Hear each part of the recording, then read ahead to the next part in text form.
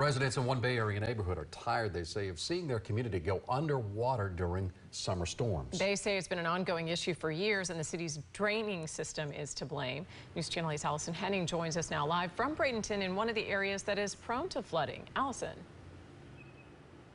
Jen Keith, good evening to you both. So we are in the Village of the Arts neighborhood here in Bradenton. Residents tell us even just a few minutes of heavy rainfall, it will put this street completely underwater. They say they've brought their concerns to the city, but they haven't yet seen any results.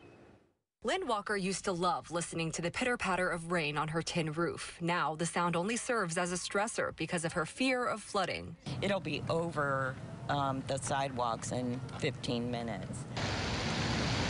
She shared this video with 8 on your side showing what she's grown accustomed to seeing, her yard and street underwater. This video taken this past weekend. Other neighbors sent us photos showing cars and trash bins submerged.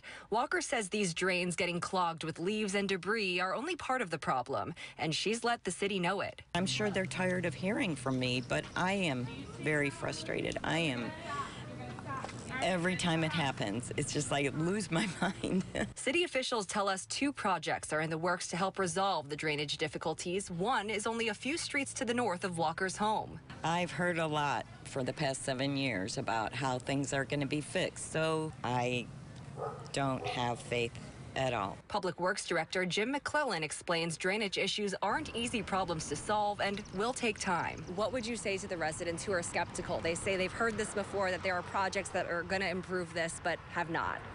Um, I would say please have faith that the systems that we're putting in place have a very well-defined and well-designed approach to capturing the water before it gets to that intersection.